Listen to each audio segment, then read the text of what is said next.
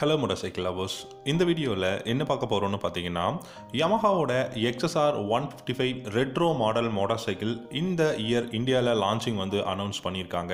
So இந்த twenty twenty த்ரீல XSR one fifty five பொறுத்த வரைக்கும் ஒரு சில வேரியன்ட் வந்து பார்த்தீங்கன்னா இந்தியாவில் லான்ச் பண்ண போகிறதா சொல்லியிருக்காங்க. இந்த பைக்கை பொறுத்த வரைக்கும் இந்தியாவில் நிறைய ஃபேன் பேஸ் இருக்காங்க எக்ஸ்எஸ்ஆர் ஏன் இவ்வளோ ஃபேன் பேஸ் அப்படின்னா ஆர் ஒன் ஃபைவோட பிளாட்ஃபார்ம்லேருந்து பில்ட் பண்ணியிருக்காங்க. அதே சமயம் உங்களுக்கு ஆர் ஒன் ஃபைவை விட அதிக அதிகமான ஹார்ஸ் பார் அண்ட் டார்க் இருக்கக்கூடிய ஒரு ரெட்ரோ லுக் மோட்டார் சைக்கிள் அப்படின்னு கூட சொல்லலாம். இந்த பைக்கோட ப்ரைஸ் அரௌண்ட் பார்த்தீங்கன்னா ஒன் லேக் சிக்ஸ்டி தௌசண்ட்குள்ள உங்களுக்கு ப்ரைஸ் எக்ஷோரூம் ப்ரைஸ் இருக்கும் அப்படிங்கிறதும் சொல்லியிருக்காங்க. ஸோ என்ன மாதிரியான கான்ஃபிகரேஷனில் எப்போ இந்த எக்ஸ்எஸ்ஆர் ஒன் ஃபிஃப்டி ஃபைவ் இந்தியாவில் twenty twenty three model launch பண்ண போகிறாங்க அண்ட் என்ன மாதிரியான வேரியன்ட் லான்ச் ஆக போகுது அப்படிங்கிறதெல்லாம் கொஞ்சம் டீட்டெயில்டாக இந்த வீடியோவில் பார்க்கலாம். உங்களுக்கு யமஹாவோட எக்ஸ்எஸ்ஆர் மாடல் பிடிக்குமா?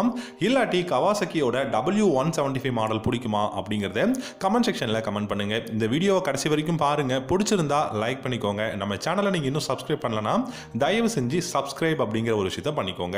யமஹாவை பொறுத்த வரைக்கும் பார்த்தீங்கன்னா நியோ ரெட்ரோ ரோட்ஸ்டர் இல்லாட்டி ஒரு sports heritage model motorcycle அப்படின்னா எக்ஸ்எஸ்ஆர் குளோபல் மார்க்கெட்டில் ஒன் ஆஃப் தி கிங் அப்படின்னு கூட சொல்லலாம்.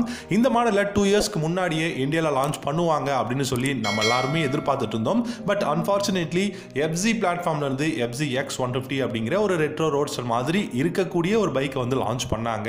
அண்ட் அந்த பைக்குக்கு அவ்வளோ பெரிய வரவேற்பு கிடையாது ஏன்னா நம்ம எல்லாரும் எக்ஸஸாரை எதிர்பார்த்துட்டு இருந்தோம்.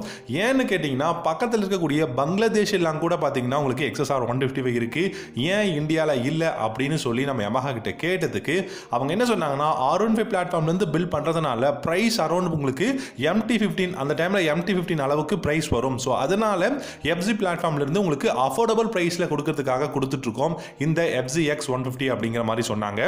அவங்க சொல்கிறது என்னமோ ஏற்றுக்கிற மாதிரி இருந்தாலும் நம்ம எல்லாரும் அதை விட எக்ஸ்பென்சிவான பைக்ஸே வந்து மோஸ்ட்லி இந்தியாவில் வந்து நம்ம வந்து வாங்கிட்டு இருக்கோம். பட் யமஹா என்ன நினச்சாங்க அப்படிங்கிறது தெரியல. அண்ட் ப்ரைஸை பொறுத்த வரைக்கும் பார்த்தீங்கன்னா ஆர் ஒன் ஃபைவ் பிளாட்ஃபார்ம் அப்படின்னு எடுத்துக்கும் போது குளோபல் மார்க்கெட்டில் எடுத்துக்கிட்டிங்கன்னா ஒன் லேக் செவன்ட்டி தௌசண்ட் நம்ம கன்வெர்ட் பண்ணோம் அப்படின்னா இந்தியன் ருபீஸ்க்கு எக்ஷோரூம் ப்ரைஸ்லேயே வருது. பட் இந்தியன் வேரியண்ட் அப்படின்னு வரும்போது இப்போ நான் சொல்லக்கூடிய கான்ஃபிகரேஷனுக்கும் அதோட ப்ரைஸுக்கும் ஓகேவாக இருக்கும் அப்படிங்கிறது தான்.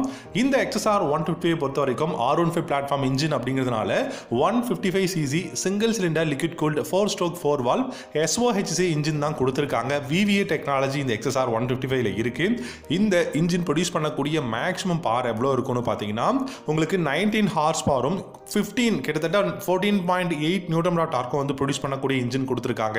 அண்ட் இப்போது ரீசெண்டாக பார்த்தீங்கன்னா பிரேசில் யூரோப் இந்த மாதிரி நிறைய கண்ட்ரீஸில் XSR one twenty five launch பண்ணுறாங்க நீ திரும்பவும் ரெட்ரோ கலர்ஸ்லலாம் பார்த்தீங்கன்னா எக்ஸ்எஸ்ஆர் மாடலில் வந்து லான்ச் பண்ணிட்டு இருக்காங்க நிறைய அப்டேட்ஸ் வந்து கொடுத்துட்ருக்காங்க பட் இன்னும் இந்தியன் வேரியண்ட்டுக்கு ஏன் வரமாட்டேங்கிறாங்க அப்படிங்கிறது தான் தெரியல.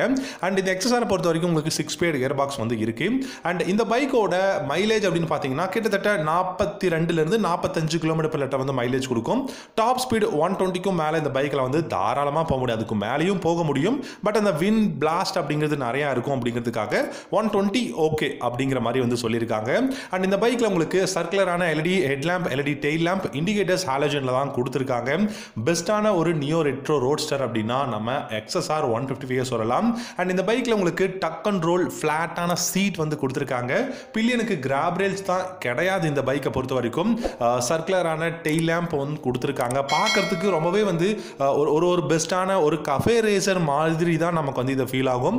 பட் இப்போது இந்தியான்னு பார்த்துக்கிட்டிங்கன்னா கஃபே ரேசர் மாடல்லாம் யாரும் அது மாதிரி விரும்ப மாட்டேங்கிறாங்க. ஸோ இது வந்து ஒரு retro look motorcycle and இந்த பைக்கோட சஸ்பென்ஷன் ஃப்ரண்ட்டில் யூஸ்டு ஃப்ரண்ட் ஒர்க்ஸ் கொடுத்துருக்காங்க. ரியரில் மோனோ ஷாக் சஸ்பென்ஷன் இருக்குது அண்ட் இந்த பைக்கோட இன்ஜின் அப்படின்னு பார்த்தீங்கன்னா ரொம்பவே பவர்ஃபுல்லான இன்ஜின் சர்க்குலரான டிஎஃப்டி கலர்டு இன்ஸ்ட்ருமெண்ட் கிளஸ்டர் வந்து கொடுத்துருக்காங்க. ப்ளூடூத் கனெக்டிவிட்டி கிடையாது. பட் இந்த பைக்கோட பிரேக்கிங் அப்படின்னு பார்த்தீங்கன்னா ஃப்ரண்ட்டில் உங்களுக்கு பெஸ்ட்டான two eighty two mm single disc பிரேக்கும் ரியரில் two twenty mm single disc பிரேக்கும் கொடுத்துருக்காங்க. டியூல் சேனல் ஏபிஎஸ் குளோபல் மார்க்கெட்டில் அவைலபிளாக இருக்குது அதே சமயம் பார்த்தீங்கன்னா உங்களுக்கு build quality riding ergonomics engine performance அப்படின்னு சொல்லிட்டு எல்லா செக்மெண்ட்லையும் இந்த எக்ஸ்எஸ்ஆர் மாடல் தரமான ஒரு பைக்காக இருக்குது அண்ட் டயர்ஸ்னு பார்த்தீங்கன்னா ஃப்ரண்ட்டில் one hundred by eighty section டயரும் ரியரில் one twenty by seventy section டயரும் வந்து கொடுத்துருக்காங்க. செவன்டீன் இன்ச் அலைவில் ரேடியல் டியூப்லெஸ் டயர் தான் கொடுத்துருக்காங்க. ஸோ ஓவராலாக பார்க்க போனோம்னா ஒரு எக்ஸ்எஸ்ஆர் ஒன் ஃபிஃப்டி ஃபைவ் அப்படிங்கிற இந்த பைக்குக்கு நம்ம ஒன் லேக் சிக்ஸ்டி தௌசண்ட்லேருந்து ஒன் லேக் செவன்ட்டி தௌசண்ட் வரைக்கும் எக்ஸோரூம் ப்ரைஸ் கொடுக்கலாமா? ஏன்னா close to two two lakh rupees வந்து நமக்கு ஆன் ரோட் ப்ரைஸ் வந்துடும் பட் இந்தியன் வேரியன்ட்னு வரும்போது ஒரு சில கான்ஃபிகரேஷன் கண்டிஷன்ஸ் நம்ம வந்து காம்ப்ரமைஸ் பண்ண வேண்டியதாக இருக்கும்.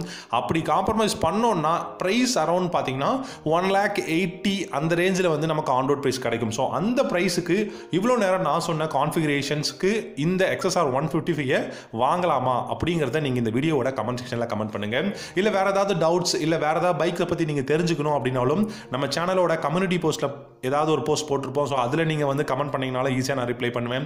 இல்லாட்டி இந்த வீடியோட கமெண்ட் செக்ஷனில் உங்களுக்கு என்ன கமெண்ட்டாக இருந்தாலும் கமெண்ட் பண்ணுங்கள் கண்டிப்பாக ரிப்ளை பண்ணுறேன் இந்த மாதிரி மோட்டார் சைக்கிள் சம்மந்தப்பட்ட வீடியோஸ் நீங்கள் ரெகுலராக பார்க்கணும் அப்டேட்டாக இருக்கணும்னு நினச்சிங்கன்னா நம்ம சேனலை வந்து சப்ஸ்கிரைப் பண்ணிக்கோங்க. எவ்ரிடே நிறைய மோட்டார் சைக்கிள் சம்மந்தப்பட்ட வீடியோஸ் வருது. அது எல்லாத்தையும் நீங்கள் மறக்காமல் மிஸ் பண்ணாமல் பார்க்கலாம். யூடியூப்பில் கொஞ்ச நாள் பார்த்தீங்கன்னா ரெகுலராகவே நோட்டிஃபிகேஷன் ப்ராப்ளம் இருக்குது ஸோ நான் போட்டால் வீடியோ உங்களுக்கு நோட்டிஃபிகேஷன் வர மாட்டேங்குது டெய்லி நம்ம சேனலை போய் செக் அவுட் பண்ணி பாருங்க. இந்த வீடியோ பிடிச்சிருந்தா லைக் பண்ணிக்கோங்க. எக்ஸஸார் பிடிச்சிருந்தா நம்ம சேனலை சப்ஸ்கிரைப் பண்ணிக்கோங்க. Thank you so much